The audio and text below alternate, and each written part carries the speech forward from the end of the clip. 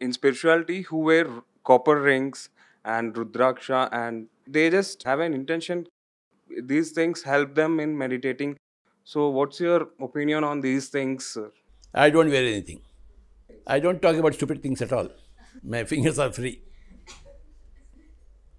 If I find any value in them, I would have them. I don't find any value in them. So I don't talk about them also.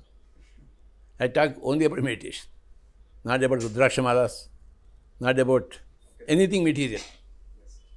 For me, material is immaterial. Only spirituality is material. Any material thing is immaterial. Spirituality is material.